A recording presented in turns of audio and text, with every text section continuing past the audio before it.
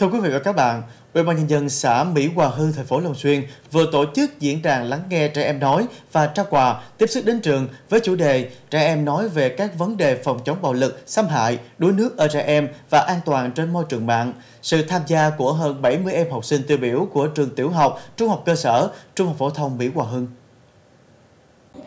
Tại diễn đàn, các em đã chia sẻ các nội dung xoay quanh vấn đề về xâm hại trẻ em, bạo lực học đường và an toàn trên môi trường mạng đuối nước ở trẻ em và các vấn đề khác mà trẻ em quan tâm nhiều nhất hiện nay như giáo dục, nâng cao văn hóa đọc, giáo dục giới tính, vui chơi giải trí, phòng chống tai nạn thương tích, tác hại của thuốc lá điện tử và các kỹ năng thực hành xã hội. Tất cả những ý kiến của các em tại diễn đàn được các diễn giả trả lời một cách cụ thể, rõ ràng và thỏa đáng.